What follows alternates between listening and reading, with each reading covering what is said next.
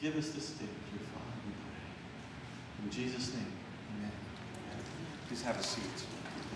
Let's go ahead and pull out our outlines from today's bulletin. And if you have your Bibles, turn with me to 1 Kings chapter 17. 1 Kings is right before Second Kings, right. Good, very good. And it's right after Second Samuel. So you'll see 1 Samuel, 2 Samuel, then you'll see 1 Kings right there in the Old Testament. This morning, I really do feel like God has a message for you. As I was uh, preparing this, God really spoke to me uh, about the passage of Scripture I was to talk to you about today. And um, so, I know He does it all, every week, but there was just something strong about this week. You know, uh, God was really impressing upon this passage, and, and I think that if you stay with us this morning, you're going to really get something good out of this. We're continuing this look at overcoming life struggles because the reality is everybody struggles, right? Hopefully, you've been in your Bible study, you've been looking at, at these topics that, as we've been continuing.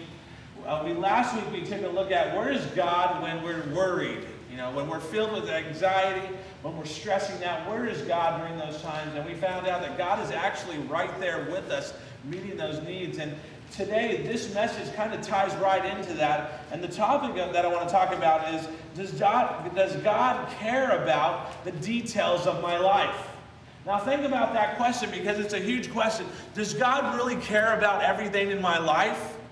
Think about that for a second. Does He care about you, for one? Does he care about your relationships with your family, for two? Does he care about your relationships with your spouse or your kids or whatever? Does he care about every detail of your life? Does he care about your career? You know, we live in such a time that it's very uncertain, our careers today, isn't it? There's a lot of people that are unemployed. You know some people like that. Maybe you're that way today. Uh, there's a lot of uncertainty, and I just have to ask the question does God really care about that? And if He does care, how is He going to meet my needs? Because, one, we still have bills to pay, right? We still have responsibilities in life. We still have to make uh, our payments for our cars and our houses or wherever we're at. Does God really care about those intimate details of our life? And I just want to say to you this morning uh, God absolutely cares about those things.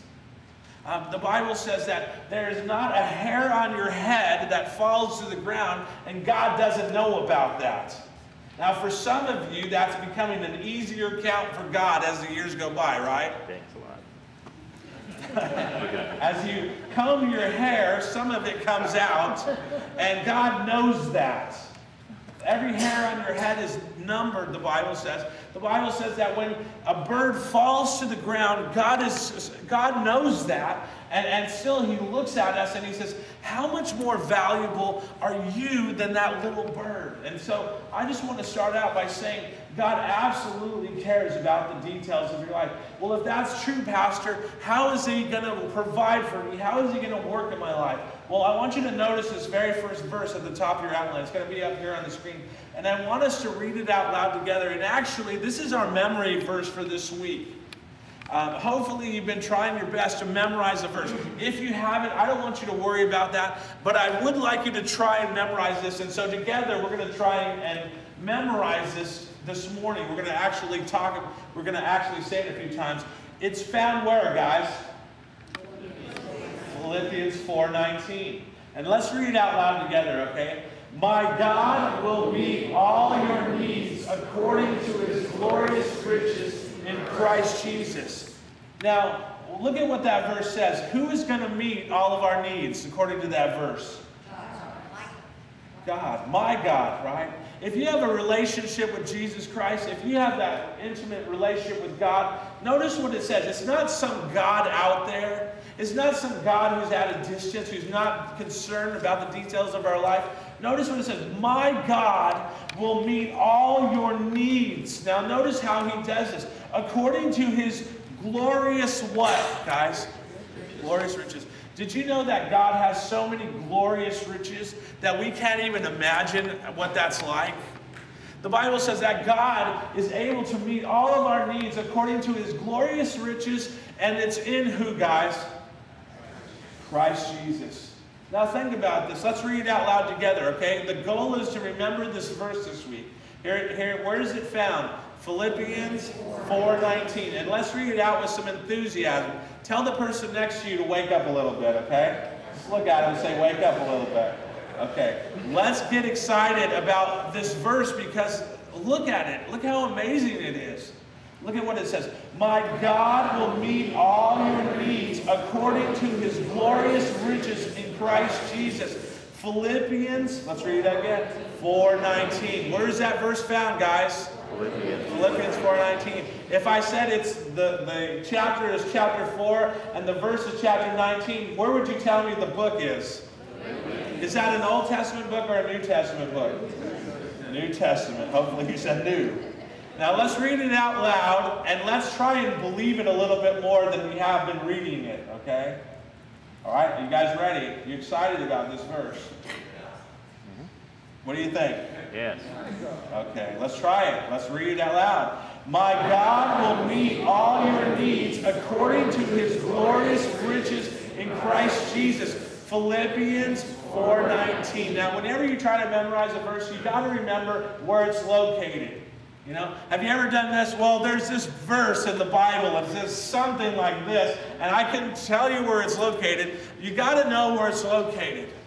Philippians 4:19, let me just read one more time. My God, my God, your God will meet all of your needs. Now he doesn't say all of our greeds, but he does say all of our needs according to his glorious riches in Christ Jesus. What does that mean? Look up here for a second. When you put your faith in Christ, when you trust him to meet your needs, God says, I'm able to do that. Out of the abundance of my glorious riches, I'm able to come and meet every one of your needs. Now, I know that some of you need that verse this morning. And some of you are going to need to believe that and trust that verse a little bit more. Why? Because He's your God and He wants to meet your needs. Now, notice this. The story that we're going to look at today about is a man, a story of a man named Elijah. And Elijah was a prophet of God. Elijah was sent by God to, to the Israelites to tell them something. He had a message for them. And the message was basically this You guys are disobeying God. Now, I, I don't know if that was a popular message, but he went to the king, King Ahab, and he went to him and he says, Look, all of Israel is disobeying God. You know, God's made this covenant that if you just follow Him, He will continue to provide for you. Remember how He pulled you out of Israel? You remember how He brought you through the Red Sea? You remember how He provided manna, manna from the ground and, and water from this rock to provide for you? Elijah just goes to Ahab and he says, Look, you're disobeying God. And because of that, there's consequences to that. But I want you to notice this. Take a look at, at uh, 1 Kings chapter 17, verse 1. It's also going to be on your outline as well. The Bible says, Now Elijah, the Tishbite from Tishbe in Gilead, said to Ahab, Ahab was the king of Israel. Notice what he says. As the Lord, the God of Israel lives, whom I serve, there will neither be dew, there will, there will be neither dew nor rain in the next few years except at my word.